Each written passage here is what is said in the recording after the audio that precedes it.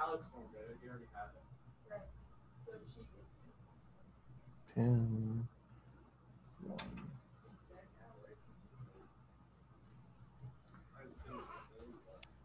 There's like no one here.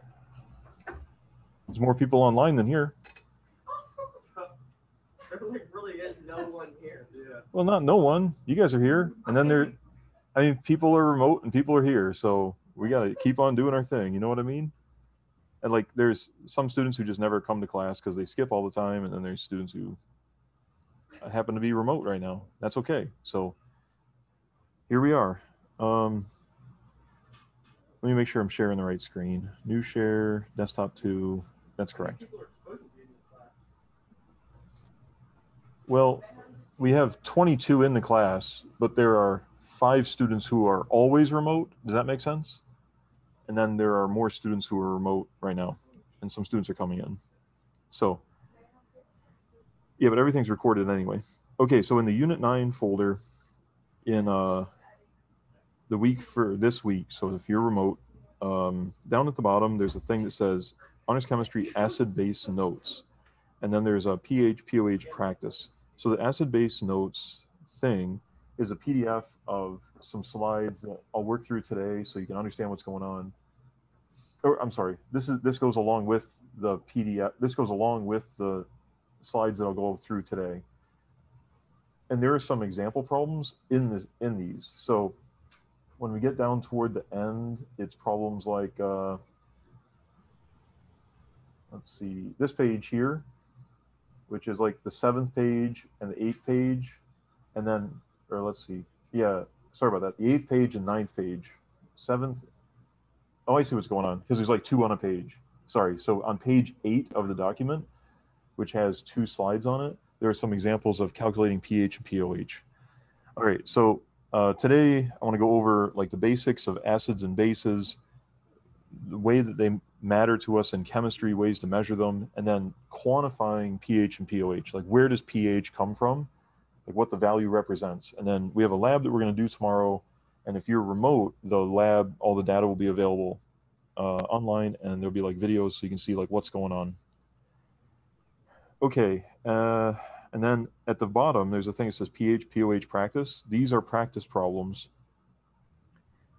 that uh, you can do to see if you're getting good at calculating pH or this thing called POH and calculating concentrations in molarity of pH and POH. And you're going to need a calculator with a, a log or a 10 to the something button to be able to get the problems done right. Okay, so that's where it is in the folder. Anyway, let me switch back to this thing here and let me get to the page we need to. All right, so the uh, guided notes are in the in the folder, but students who are in class, you guys have this as like a physical thing. Um, cool, thanks. Need two of those. All right, so hold on, let me check something here. Acid base notes. Yeah. Okay. So, she's on. You're welcome. I love it. But don't force it back. Just want to see it tomorrow. She said. She said. Yeah. Okay. So, um, if you have like totally pure water, just straight up water, then we don't say that water is either an acid or base, but it's neutral. Oh yeah, sorry. Um, what's it, what's it about? What's that?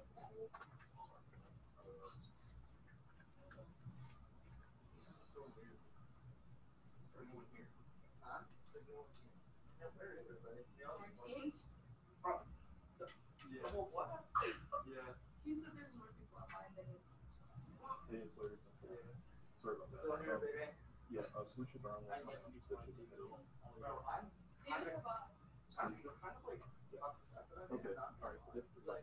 Sorry about that. I. All right. Um, okay, so if you have, sorry about that, I had a call. If you have perfectly pure water, it's neither an acid nor a base. But if you have extra hydrogen atoms in the water, then it becomes acidic. And if there's a deficiency of hydrogen atoms in the water, then it's a base. And the way that you get the deficiency of hydrogen atoms is sometimes with an excess of hydroxide.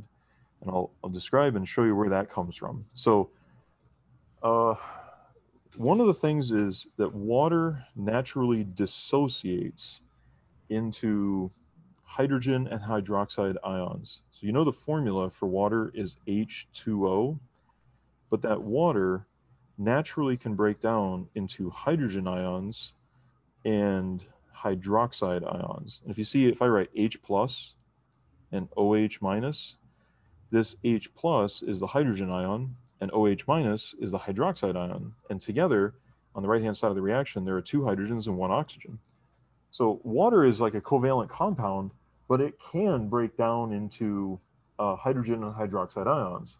And because you get these ions that are in water, and water naturally breaks down a little bit into hydrogen and hydroxide ions, those charged ions in solution make the solution an electrolyte. So all that an electrolyte is, is a substance, when you put it into water, forms a solution. Okay, so like, uh, and like the guided notes and stuff, strong acids and strong bases, they are electrolytes. They can conduct electricity. So the deal is water itself does not conduct electricity. Water itself is a very poor conductor of electricity. In the acid and base lab work that we're going to do, you're going to see that. Uh, I'll demonstrate it. Here's an example with uh, a light bulb with some wires that are going down in, and the circuit is open, but those wires are sitting in water. The electricity is not conducted from wire to wire if it's pure water. But if you add something into the water that's an electrolyte, it could be a salt. It could be like, uh, like for instance, if you take sodium chloride and you put it in water, it also breaks down into sodium ions and chloride anions. And the presence of those ions in the water allows the water to conduct electricity. And uh, acids and bases occur whenever there's excess hydrogen ions or excess hydroxide ions and the presence of those ions in the water uh, make the solution and uh, conductor of electricity, and the solvent itself is an electrolyte. So you know they say like Gatorade has electrolytes in it, and that's because it has potassium chloride, and the potassium and the chloride ions break down into the water, and it becomes a conductive solution. Sugar in water, because sugar is covalent, it doesn't break down into ions, and it's not the same type of an electrolyte. So sugar water is not electrolytic so much, but ionic compounds, salts, when they dissolve, they're electrolytes. But acids and bases, they're also electrolytes. As acids and bases can conduct electricity. So as a result, you can measure the acidity or basicity of a solution based upon how well it conducts electricity. If a solution conducts electricity really well and it's an acid, then there must be more acid in the water than if there's less acid in the water. Um, acids and bases can also um, interact with indicators. So we use chemical indicators in the lab all the time to tell us whether a solution is an acid or a base. And chemical indicators are usually uh, color indicators. They tell you if um, like something is an acid or is a base and how acidic and how basic it is. And it turns out it's kind of like a real stereotype in pictures. Um,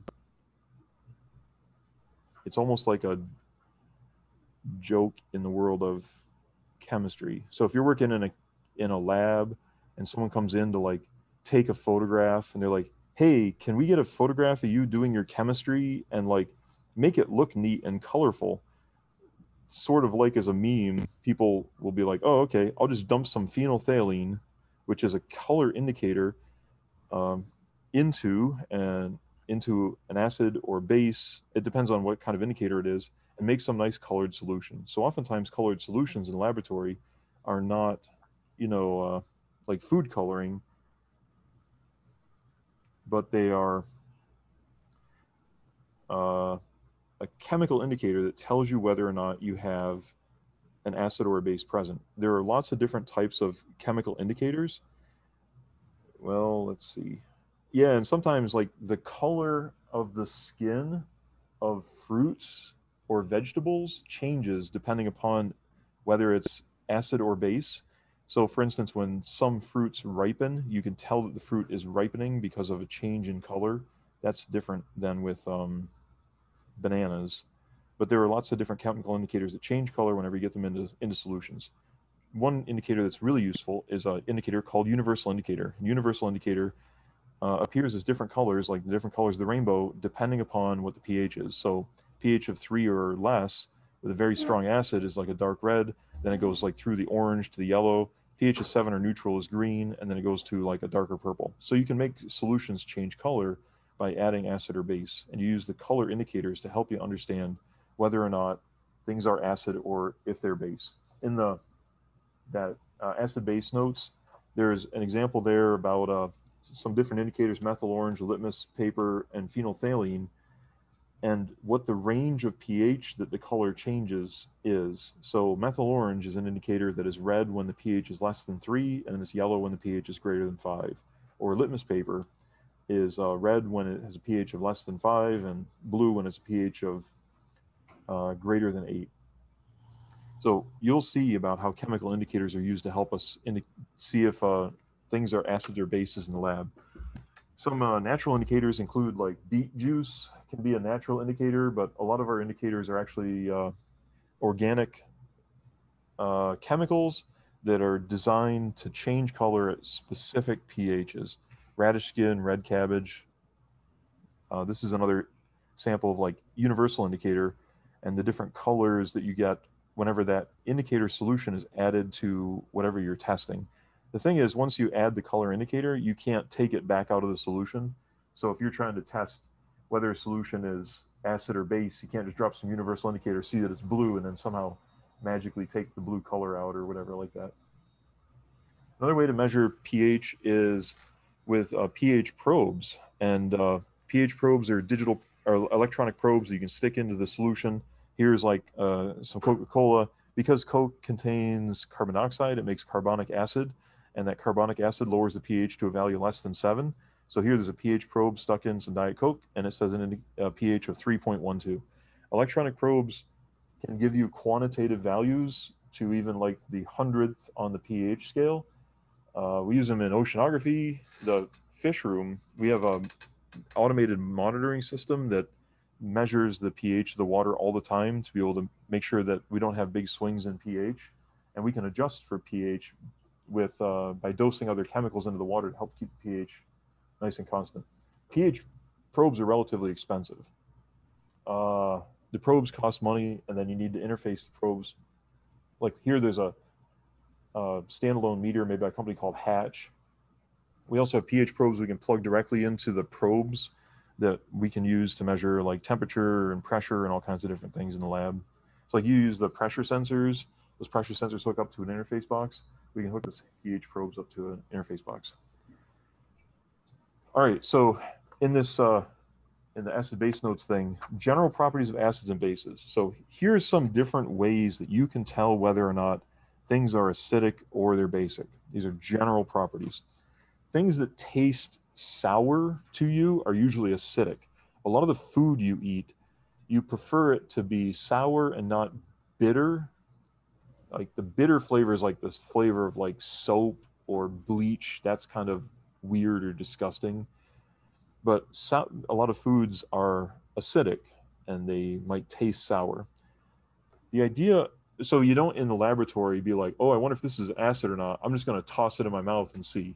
You don't use taste as a as a test in the laboratory, but things that taste sour are oftentimes acidic the pro- the idea about corrosive is oftentimes uh, acids are used to react with metals. We studied this earlier in the course. Like if you take solid magnesium and you react it with a solution of hydrochloric acid, then uh, you get magnesium chloride, uh, magnesium chloride, and you get some hydrogen gas. And I can balance this equation by putting a 2 in front of the HCl.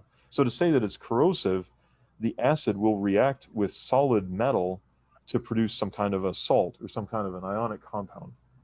Um, acids will eat away at a lot of different metals. We make solutions with metals by reacting acids with them.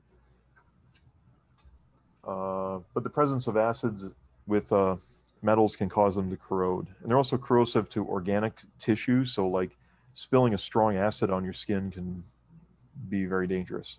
So, this idea about reacting strongly with metals, producing hydrogen, is the same idea of its cor- corrosivity. The corrosiveness of a metal could be with, or corrosiveness of an acid could be with a metal, but it could also be non metal. There are two basic or two regular kinds of litmus paper that we use. There's blue litmus paper and red litmus paper. And it turns out that litmus itself can change from red to blue. But when we make litmus paper, we manufacture blue litmus paper.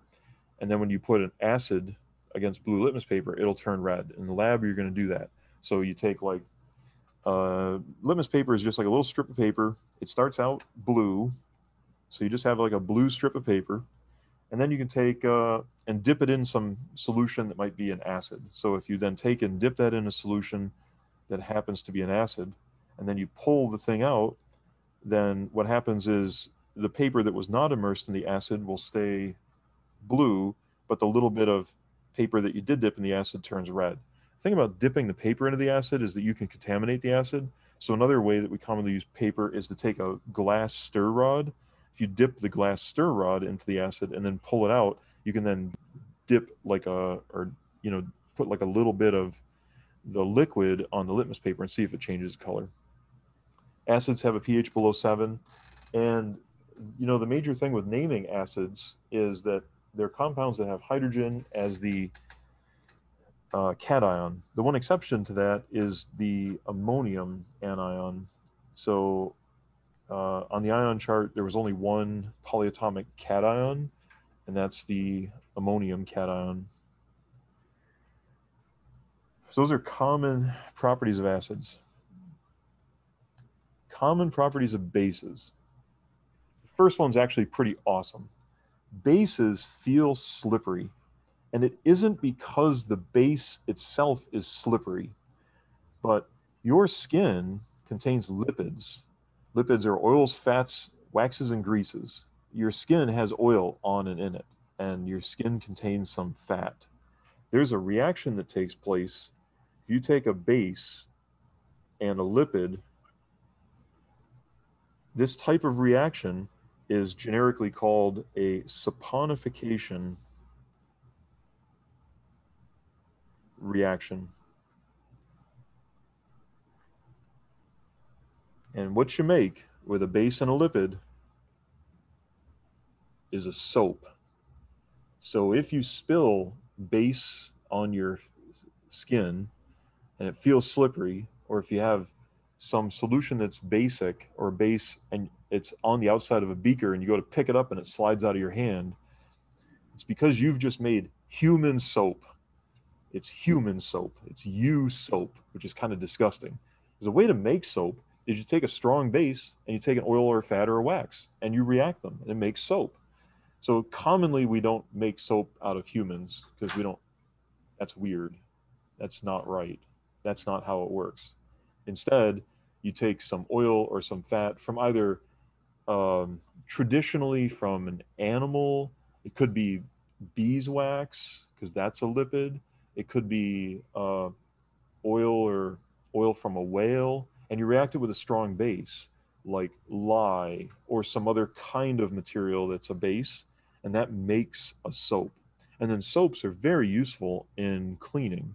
So the reason why bases feel slippery isn't because they're like gre- they're on their own, they're greasy or they have a low coefficient of friction, but when you spill a base on your hand and it feels slippery, it's because you've you've made some soap on your hand and now it's like uh, reduces the friction, which is kind of gross.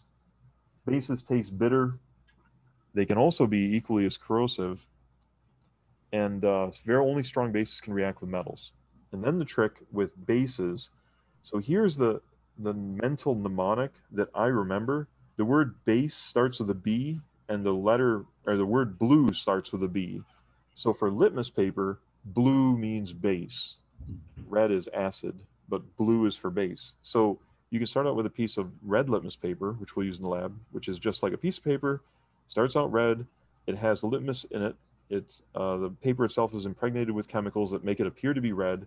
but then whenever you put a little bit of base on it, so you spray or dab a little bit of base on the end of the thing, then the paper itself, wherever you touch or dip the paper in, will turn blue.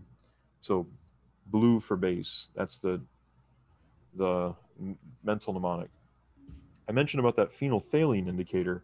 There's a common type of process that we use to uh, deal with solutions in um, chemistry, and it's a very useful technique in AP chemistry, and that's a process um, called titration.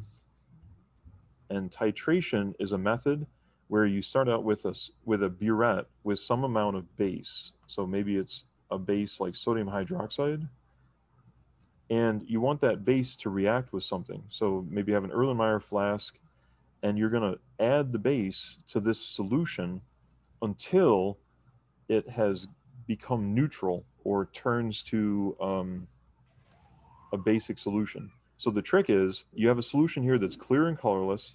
You add a chemical called phenolphthalein, and it will remain clear or remain colorless. But as you add base to it, and the solution goes from being neutral to being basic, that solution will change from being colorless to being pink. And it's a nice bright pink color, just like that photograph that I showed you with a phenolphthalein indicator. And opposite of acids, because water, if you write water is H2O, can dissociate into hydrogen and hydroxide ions. The two parts of water really are this hydrogen, which is the acid, and the hydroxide, which is the base. And the reason why you can think of water as being neutral is that a water molecule itself, if it dissociates into hydrogen and hydroxide, there's an equal balance of hydrogen and hydroxide. An equal amount of acid and base is still a neutral solution. So if you have excess base, it's a basic solution. If you have excess acid, it's an acidic solution. So in a way, you can also say acid is really hydrogen and bases are really hydroxide. And on the pH scale, its pH is above seven. All right, that reading I gave you yesterday, and if you weren't here yesterday, it's in the in the folder. There are two ways to define acids. Uh, one is the Arrhenius definition. This is pronounced Arrhenius, A R H E N I U S. I'll tell you more about Arrhenius, but uh, the idea is that Arrhenius acids are solutions where there are hydrogen ions in the water. So, for instance, if you take and you got a container with water, so here's just H2O, and if I add, you know, HCl to it, which is a gas, but um, as an ionic, as, as a gas on its own, but whenever I add it, it ends up to be hydrogen and chloride ions. So by adding HCl to water, I now have a solution that we just write as HClAQ. But the deal is this hydrogen chloride, it dissociates into hydrogen and chlorine ions. So really the HCl, it breaks down into hydrogen ions and chloride ions. You know that in order to write the formula for hydrochloric acid, you always use hydrogen and you find the ion chlorine. So when you have a solution that is an acid, by this definition, it's because there's excess hydrogen ions. And the more HCl you put in the water, the more hydrogen ions are going to be in the water. Now, there's one side story to this. It says hydrogen or hydronium. So you've never seen this before, H3O plus.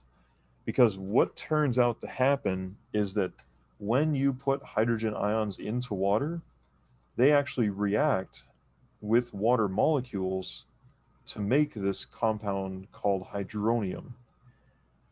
And you can see that hydronium, uh, H3O, is the same as H2O, but with one more hydrogen. So, really, what takes place is for strong acids, when you put hydrochloric acid into water and this HCl breaks down into hydrogen and chlorines, these hydrogens go ahead and find waters and make this ion called hydronium. And this is a balanced equation. So for every hydrogen, there is one hydronium. And in some cases, we care to talk about it as hydronium because that's what's actually in the water as compared to just hydrogen. Bases have hydroxide. So a common base is sodium hydroxide. And sodium hydroxide, when you put it, sodium hydroxide is a solid. When you put that into water, you get sodium ions and you get hydroxide ions. And as a result of putting the sodium hydroxide in water, you have more hydroxide ions than you initially did. Not all bases have hydroxide ions, but from now on, the general trick is, and you know this about acids, is that acids have hydrogens in them and they end up making hydronium. And a lot of bases are hydro- have hydroxide at the end. And this OH minus is an indication that you have a base. So in a way, water is just hydrogen and hydroxide. You got extra hydrogens, it's an acid. You got extra hydroxides, it's a base. That's the general plan. Okay, the other definition is this definition we call the Bronsted-Lowry definition.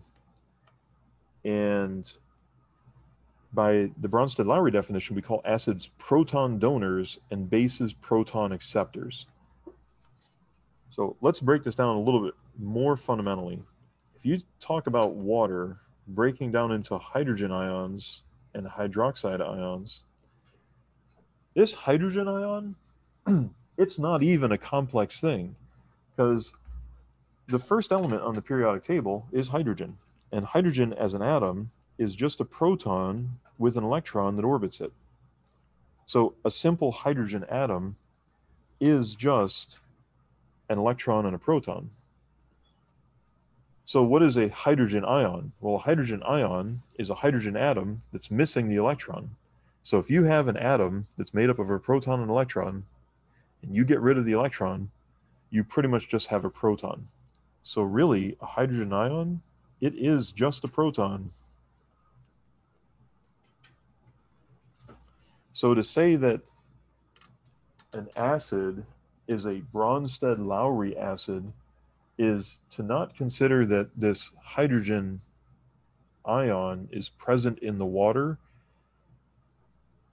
but that a hydrogen ion is just a proton. And that proton can go with the water to make hydronium. So in this case, instead of writing it as hydrogen plus water making hydronium, really it's just a proton.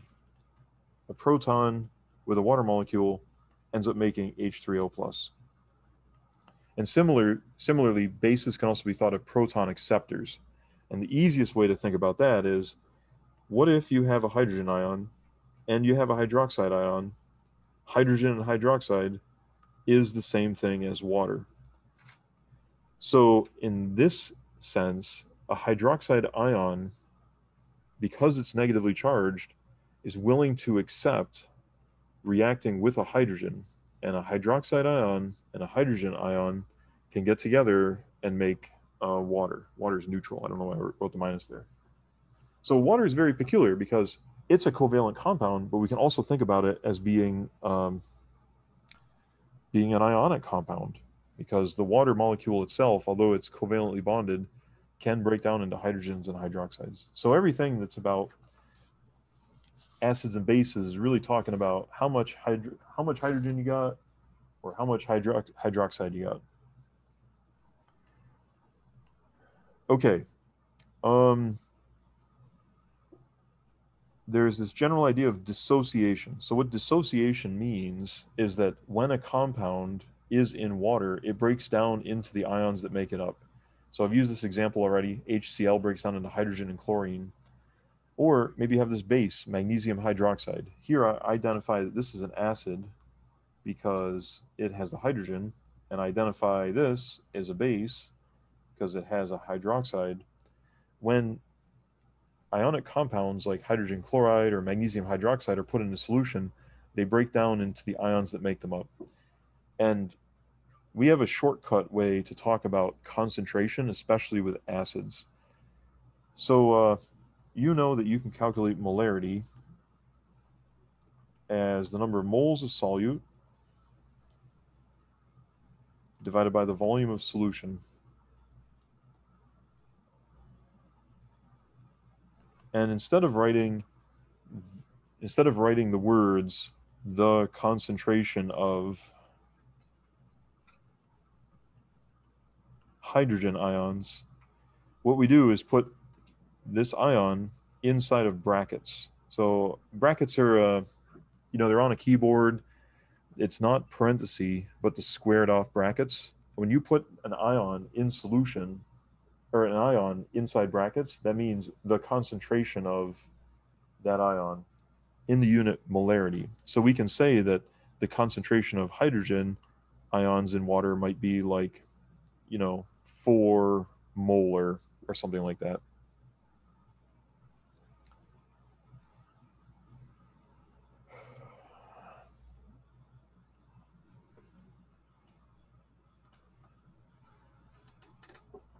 All right, let me see where this thing is.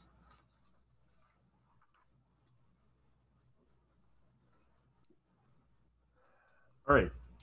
So besides talking about concentrations of acids and bases in the unit molarity, which you now know you can have a shortcut by putting it inside a bracket, we've developed this scale called the um, pH scale.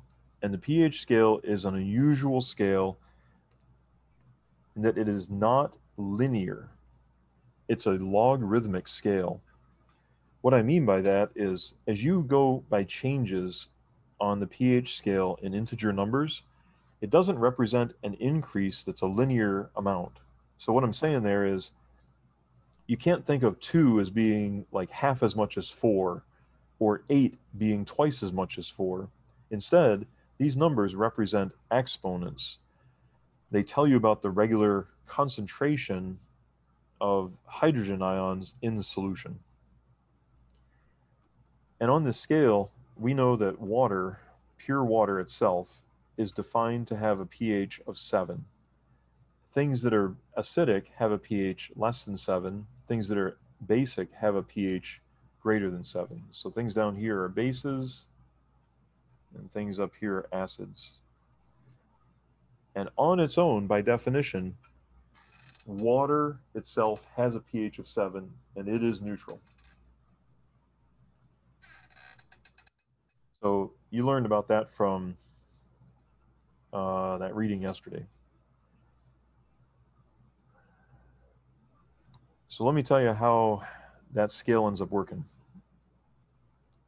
Whenever you have ions in solution and you have a neutral solution, the numbers of hydrogens and hydroxides are the same.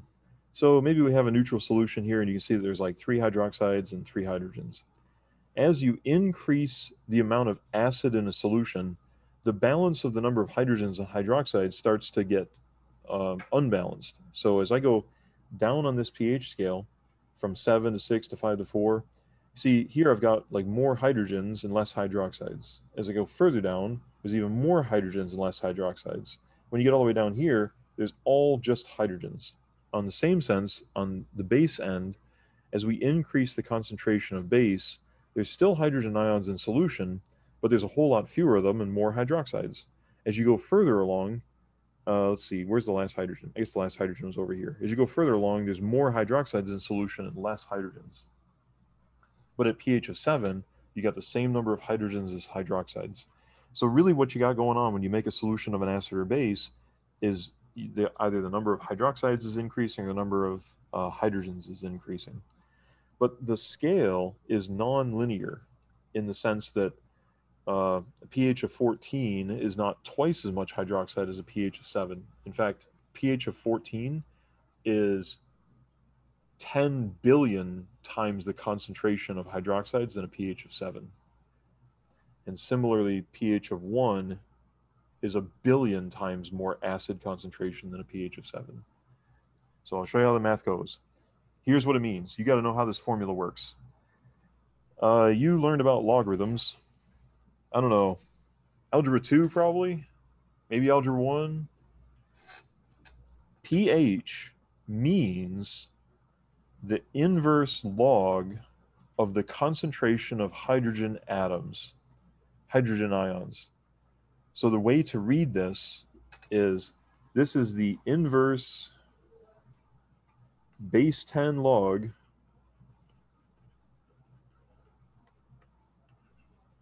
of uh, hydrogen ion concentration.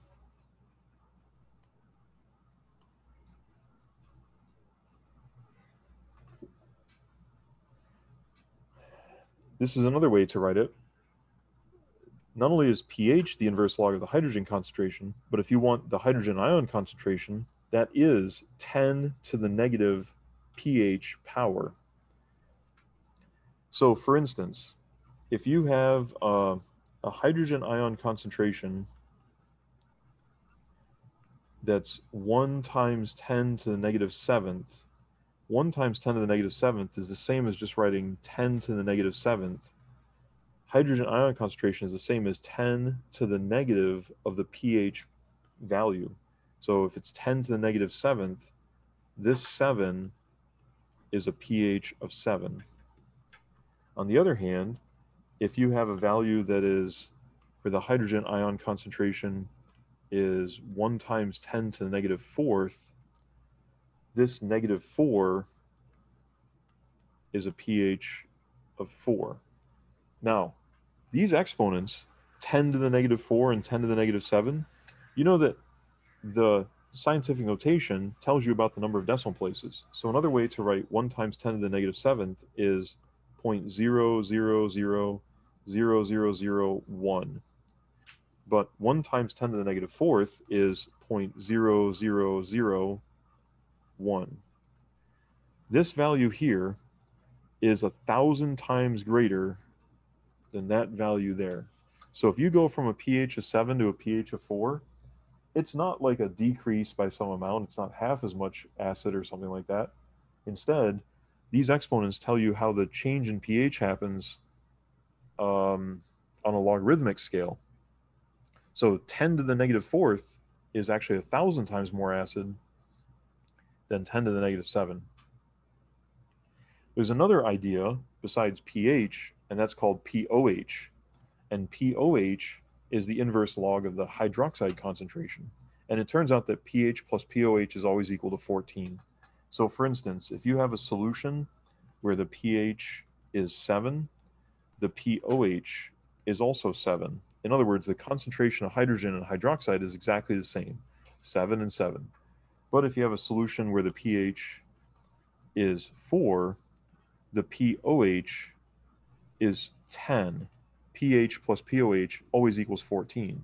And really what you're showing here is that the concentration of hydrogen is different than the concentration of hydroxide.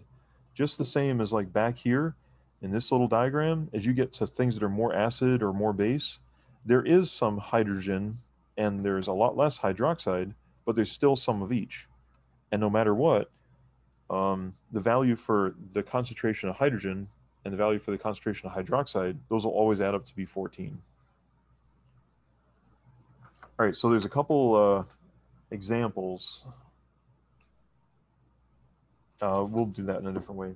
On the like the end of that guided notes there, one says, what's the pH of a solution whose hydrogen ion concentration is 10 to the negative 10? This says the hydrogen ion concentration is 10 to the negative 10, 1 times 10 to the negative 10th there's two ways to do it. I'm going to show you how to deal with it on your calculator if it's not an integer value. So, but one way here is it's always true that uh, this value up here happens to be the pH value if that's for hydrogen. So that's a pH of 10. The other thing to do is because pH is equal to the inverse log of the hydrogen concentration, the pH is also equal to negative log of 1 times 10 to the negative 10. All right, so if you have a uh, graphic calculator or even like a scientific calculator or whatever, somewhere on there there's a log button. And on this calculator, if I hit negative and then I hit log and then I hit uh, 1 times 10 to the negative 10, 1 e negative 10, my calculator just says 10. So on your calculator, you literally just hit negative, hit the log button, and then put in the value 1 times 10 to the negative 10. In this case, it just comes out to be 10. Anytime this value out in front of scientific notation is a 1, it's just the value that's up here. But if you have a value that is not 1 out in front, or if the pH is not an even pH, like an integer pH, then you have to use your calculator. So if the pH is 7, or if the pH is 6, what else is true is that the hydrogen ion concentration is equal to 10 to the negative pH. So if I type, well, on my calculator, it's just 10 to the negative sixth. And because this is just an integer value, it's just 10 to the negative sixth. Or you can write it as 1 times 10 to the negative sixth. How things get a little more complicated is if you have, uh, well, this one's straight up to, wait, oh, I have it on the same, same thing. Okay, so if POH is 11, what else is true is pH plus POH is always equal to 14. So if the POH is 11, then the pH must be whatever 14 minus 11 is, which is 3. So pH of 11 is the same as a pH of 3. What we're going to have to practice is what if you have a pH that's not an integer value? So uh, there's two things to do. The hydrogen concentration, oops, I don't know why that happened. Hydrogen concentration is equal to 10 to the negative pH value. Here, it's 10 to the negative 5.5, but we don't write values in scientific notation like this. It's not really acceptable to write a value that's like 1 times 10 to the negative 5.5. In scientific notation, the exponent has to always be an integer because it tells you about the order of magnitude. But on your calculator, if you type 1 times 10 caret negative 5.5, it'll give you some kind of value. And on my calculator, now it says 3.16 times 10 to the negative sixth. This is now a concentration that has an exponent that is uh, an integer value. And what you'll always see is that this integer for the exponent is always within one of whatever the value is for the pH. So in other words, a pH of 5.5 is 1 times 10 negative fifth, but the concentration is not, it's not okay to report this as the concentration. Instead, on your calculator, you can just evaluate the number. You type in on your calculator 1 times 10, you can use the caret button, 1 times 10, and then you have like the caret, negative 5.5. When you type that in and you hit enter, your calculator will report a value that is in standard scientific notation, like the 3.16 times 10 to the negative sixth. Um, this, though, is the pH. If I want the, or I'm sorry, is the hydroxide concentration. If I want the hyd, uh, or the hydrogen concentration, if I want the hydroxide concentration, uh, I think I have that back here. Yeah, we didn't put that in. I don't know. I'll show you how to do that tomorrow and the next day. Tomorrow's Friday, I guess. But um, the hydroxide and the hydronium concentration are the same, and the hydroxide and the I'm sorry, the hydrogen and hydronium concentration have the same meaning. There's a relationship between the hydro the hydrogen and the hydroxide concentration. So this is not the hydroxide concentration down here. That's the uh, hydrogen concentration, which turns out to be the same as hydronium concentration. All right, we'll do uh, a bunch more math and some other exercises, and you'll see how the indicators work. And we have conductivity meters and pH meters to help you out with understanding how we measure those kind of things. Let's see.